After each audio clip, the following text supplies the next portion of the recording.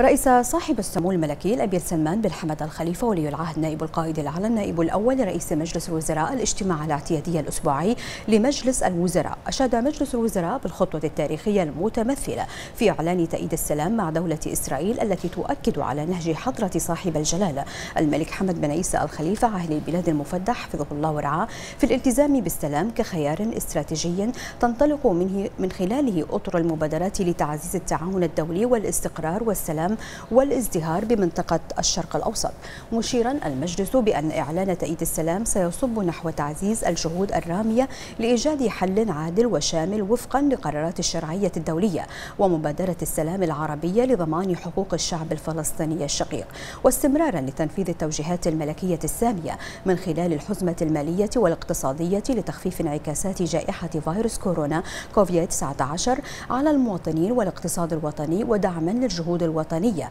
وفي إطار التعاون والتنسيق مع السلطة التشريعية قررت الحكومة التكفل بفواتير الكهرباء والماء ورسوم البلديات لكافة المشتركين المواطنين في مسكنهم الأول لمدة ثلاثة أشهر ابتداء من شهر أكتوبر 2020 بما لا يتجاوز فواتير الفترة نفسها من العام الماضي لكل مشترك. في سياق متصل فقد وجه مجلس الوزراء مصرف البحرين المركزي لحث جميع المصارف بتأجيل مدفوعات القروض للمواطنين المتضررين من جائحة كورونا حتى نهاية العام الجاري بما لا يؤثر على سيولة المصارف وملائمتها المالية. من جانب آخر فقد أهاب المجلس بالمواطنين والمقيمين الكرام الالتزام بالتباعد الاجتماعي وإرشادات الفريق الوطني الطبي بالحد من الاختلاط وتجنب التجمعات مؤكدا دور وإسهامات الجميع في خفض معدلات انتشار فيروس كورونا كوفيد 19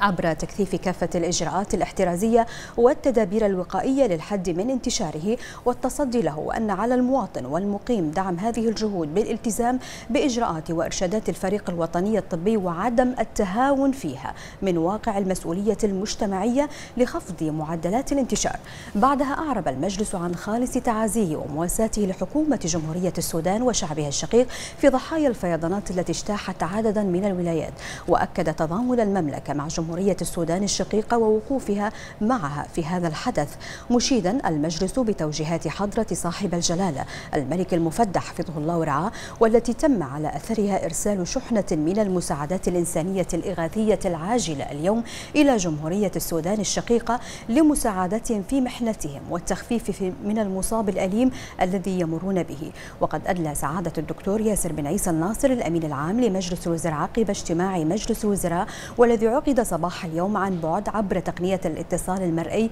بالتصريح التالي. نظر المجلس في المذكرات المدرجة على جدول أعماله واتخذ بشأنها من القرارات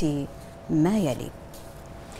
أولا بناء على توصية اللجنة التنسيقية برئاسة صاحب السمو الملكي ولي العهد نائب القائد الأعلى النائب الأول لرئيس مجلس الوزراء. فقد وافق مجلس الوزراء على مشروع قانون بتعديل بعض أحكام قانون الشركات التجارية الحالي والصادر بالمرسوم بقانون رقم 21 لسنة 2001 وتتمثل أهم التعديلات في إدخال مزايا جديدة تمنح أو تمنح مزيدا من الخيارات للاستثمار وزيادة دخل الشركة وتعزيز حقوق المستثمرين الأقلية واستحداث الشركات غير الهادفة للربح واستحداث مواد خاصة بالاندماج والاستحواذ وغيرها من التعديلات التي تهدف إلى تطوير وتحسين التنظيم الإداري لعمل الشركات وتيسير الإجراءات لمواكبة التطورات العالمية. ثانيا بناء على ما أرسته المحكمة الدستورية من مبادئ قانونية للعمل البرلماني من خلال حكمها بعدم دستورية تمديد فترة لجان التحقيق البرلمانية لأكثر من أربعة أشهر. فقد تدارس مجلس الوزراء الأثر المتابع المترتب على صدور حكم المحكمة الدستورية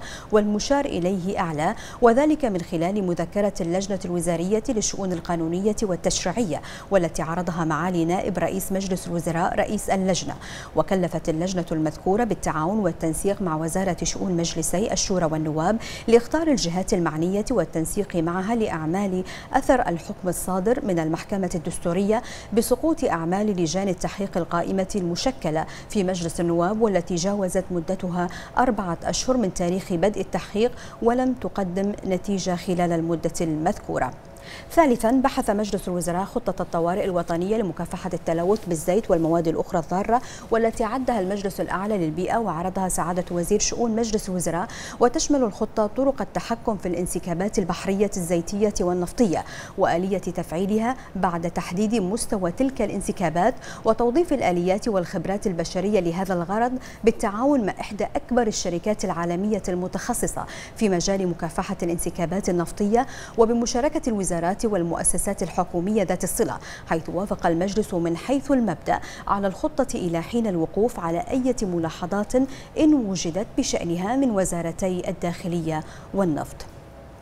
رابعا وافق مجلس الوزراء على اقتراح برغبة لصرف مكافأة العاملين في مراكز تحفيظ القرآن وقرر المجلس صرفها في ضوء تنظيم الدراسة عن بعد وذلك في عدد من مراكز تحفيظ القرآن والتابعة لوزارة العدل والشؤون الإسلامية والأوقاف. خامسا وافق مجلس الوزراء على اقتراح برغبة لإعطاء الأولوية للمزارعين البحرينيين في هورة عالي نظرا لتحققه من خلال إبرام عقود انتفاع مع 19 مزارعا بحرينيا للاستفادة من الأراضي الزراعية في هورة عالي. سادسا وافق مجلس الوزراء على عدد من الاقتراحات برغبة نفذتها الحكومة جميعا في وقت تقديمها من خلال ما اتخذته من إجراءات وتتعلق تلك الرغبات بتأجيل الأقساط الإسكانية ورواتب البحرينيين في القطاع الخاص وتطبيق العمل عن بعد ودعم العاملين في المهن الحرة وغيرها. في بند التقارير الوزارية أخذ المجلس علما بنتائج الاجتماع الأول رفيع المستوى والذي وجهت الدعوة